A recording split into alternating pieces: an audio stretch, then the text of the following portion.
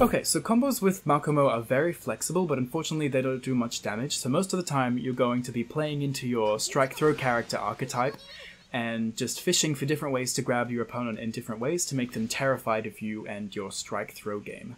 So basic B&B combos with Makomo could look something like this. Oops. You can dash up after a water wheel for free, you just have to leave a little bit of a gap or else it will cost you meter.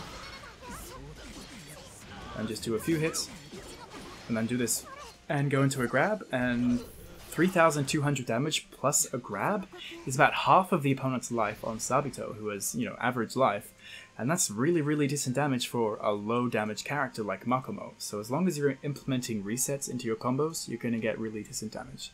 So with that said, combos can look something like this.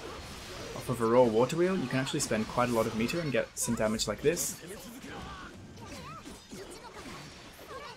And get a, oof, I was even too fast on that reset there. This one's practically unavoidable. So if you did that grab a tiny bit later, it would have hit and would have been over half of the opponent's life. Off of a red attack, you can do um, combos and do very similar stuff. Let me do a full charge one.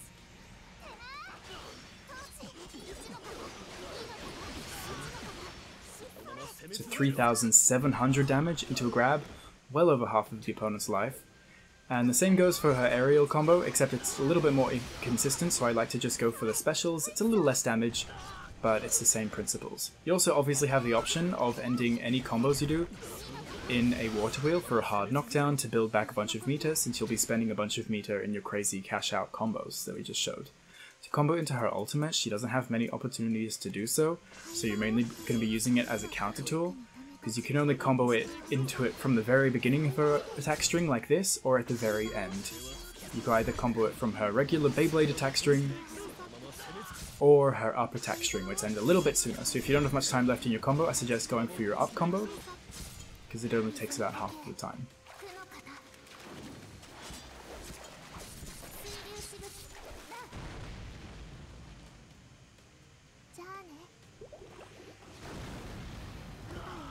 You can combo off of her guard special in the same way you're comboing off of anything else, just by comboing into Water Wheel, going into the air, doing a few attacks, Surface Slash, and getting a reset off of it. Any of these resets can be replaced with an armor attack or a grab, the grab is very consistent, and if you are in Surge mode, well obviously you could be doing stuff like this. Very easy to get huge damage with her in Surge mode, because you just do this over and over again, you can get about 7,000 damage and then cancel into a grab and your opponent is dead. So that is Makomo and her combos. They're pretty simple, but as long as you're implementing her her crazy grab and reset game into it, she'll be doing decent damage. Anyways, that was a quick combo video. I hope you enjoyed, and I'll see you in the next one. Bye-bye!